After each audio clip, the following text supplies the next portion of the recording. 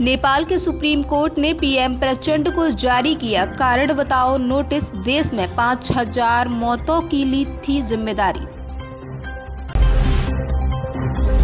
होली में जापानी महिला के साथ बदसलूकी करने का मामला, पुलिस ने नाबालिग समेत तीन युवकों को किया गिरफ़्तार।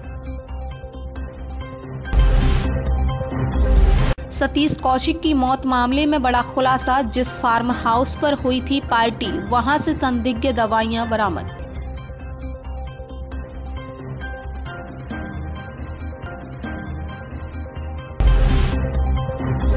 संयुक्त राष्ट्र में कश्मीर का ध्यान आकर्षित करने में पाकिस्तान रहा असमर्थ।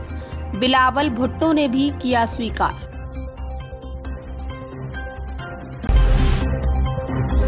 मिशन 2024 की तैयारी में जुटी बीजेपी पानीपत की ऐतिहासिक धरती पर बनेगी खास रणनीति।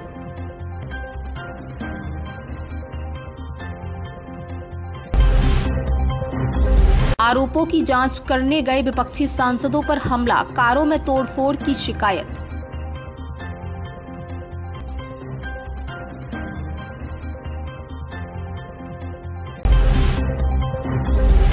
पीएम मोदी के काफिले के कमांडो की नहर में गिरकर मौत 21 घंटे बाद मिला शव।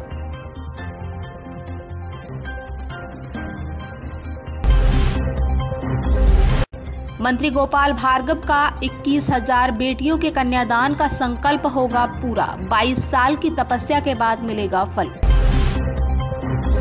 गोरखपुर वासियों को केंद्रीय मंत्री नितिन गडकरी देंगे खास सौगात। सीएम योगी रहेंगे मौजूद।